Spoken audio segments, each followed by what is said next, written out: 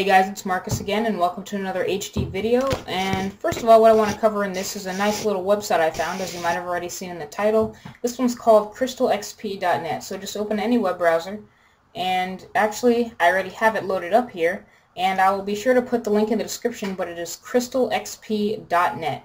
Um, basically what this does is it helps you uh, customize your computer quite a bit. I remember when I had uh, Windows XP, um, I used this website a lot for my customization. But um, first off, when you go to the Downloads tab, it says it offers a large gallery of um, wallpapers, icons, icon sets, animations, and Bricopacks. Now what they specialize in is that whole Bricopack thing.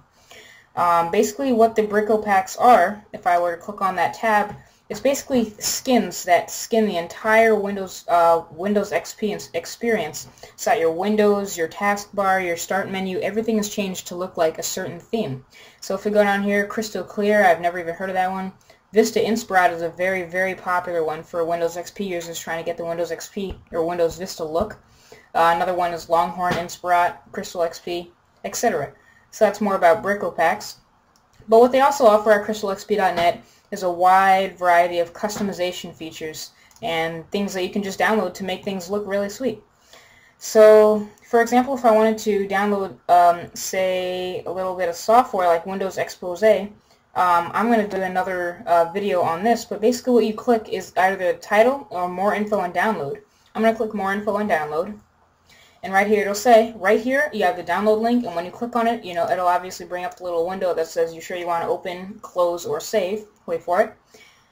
And it's going to be a .zip file as you can see by the URL, obviously, but I'm going to cancel this because I don't want to start it yet. But yeah, that's basically what it is. It's very simple. It takes you to a direct download link and you get a ton of customization features and you can also get Rocket Dock icons for this at this particular website as well. So I just thought you guys might be interested in that pretty cool website. I'll post a link in the description. If you're watching this video in HD, it's going to be below and to the right. If you still haven't watched it in HD yet, it's just going to be directly to the right of this video. And that is basically it. So uh, thanks for watching. That's a quick little tutorial on how to, well, basically a quick little video on crystalxp.net. Thanks for watching, guys. Peace.